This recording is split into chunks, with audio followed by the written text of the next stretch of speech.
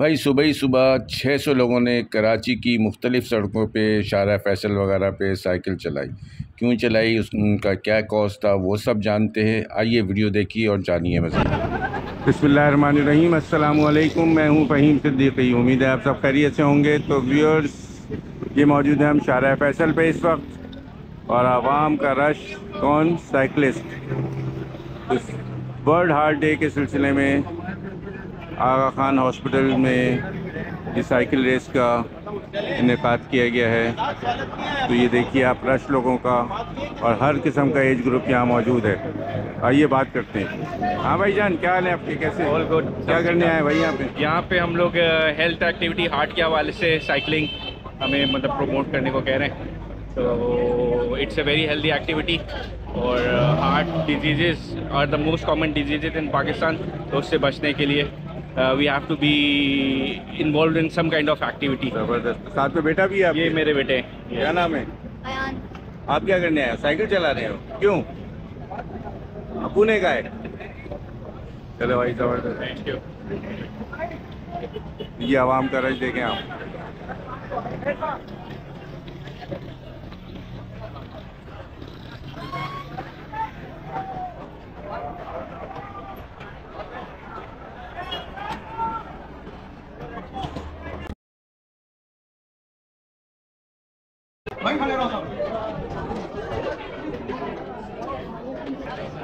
चलो निकालते जाए निकालते जाए, फटाफट निकालते जाए।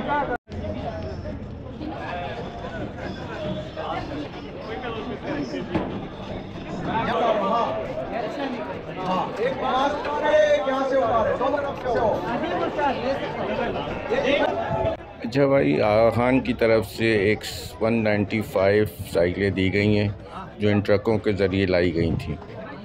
और तकरीबन 600 लोगों ने इसमें हिस्सा लिया, यानी तकरीबन 400 के करीब लोग वो थे जो अपने साथ अपनी अपनी साइकिलें लेकर आए।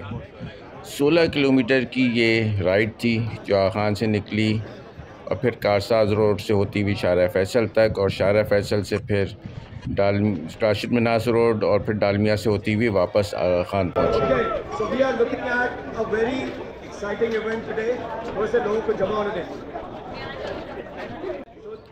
डॉक्टर्स के मुताबिक दिन भर में कम अज़ कम आधा घंटा अपने ऊपर ज़रूर लगाएँ। एक्सरसाइज करें, साइकिलिंग करें, जिम ज्वाइन करें, वॉक करें, ये आपकी सेहत के लिए बहुत ज़रूरी है। और इसके अलावा टेंशन नहीं लें, क्योंकि टेंशन की वजह से आपको अंदाज़ा नहीं है, पाकिस्तान दुनिया का वो मुल्क है जहाँ की लोगों की उम्रें 10 से 12 साल कम है, बनस्बत बाकी दूसरे ममालिक से। इस वजह से लोग वक्त से पहले ही मर जाते हैं तो ज़रूरत इस बात की है टेंशन ना लें और अपने ऊपर इन्वेस्ट करें एक्सरसाइज करें?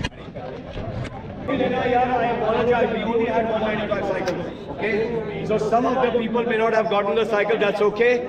Stick around, walk around, enjoy the weather. But then there is a breakfast available for all of you. Okay okay, जिसको साइकिल नहीं भी मिली है उसके लिए भी ब्रेकफास्ट है।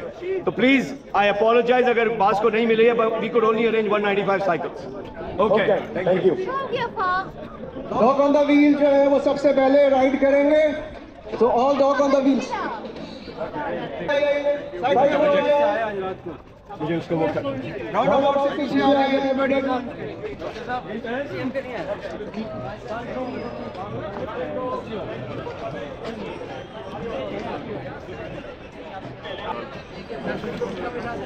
सी एम टी और बहुत सारे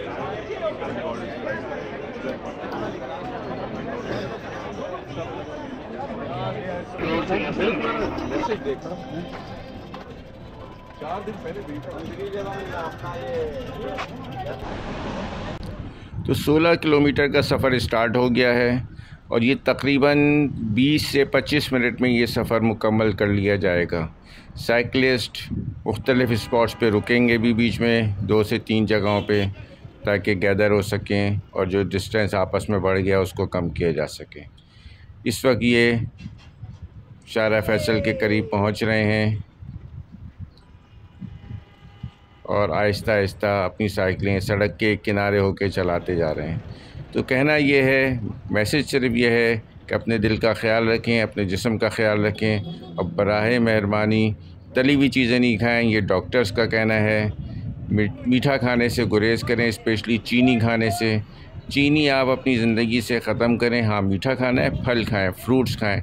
ये सब कुछ डॉक्टर्स ने यहाँ पे बताया कि फल खाइए एक्सरसाइज कीजिए टाइम के मुताबिक काम कीजिए और ये जो बर्गर और पिज़्ज़ा और ये फ्राई चीज़ें हैं, इनको खाने को अवॉइड कीजिए और एक्सरसाइज करें ताकि आप सेहतमंद रहें। क्योंकि पाकिस्तान के जो बालिग लोग हैं ना, उनकी औसत उम्र 10 से 12 साल कम है। दुनिया के दूसरे ममालिक की नस्बत। ये एक बहुत ही अलार्मिंग सिचुएशन है और ज़रूरत इस बात की है कि हम अपनी सेहत का ख्याल रखें, जो कि हम नहीं रखते। तो साइकिल राइड अपने अख्ताम पर पहुँच रही है। आगा खान अस्पताल वापस पहुँच गए हैं। वीडियो को ज़्यादा से ज़्यादा शेयर करें और अपनी सेहत का ख्याल रखें। मिलते हैं नेक्स्ट वीडियो अपडेट में। मुझे इजाज़त दें। असलकुम फ़ी अमान पाकिस्तान जिंदाबाद।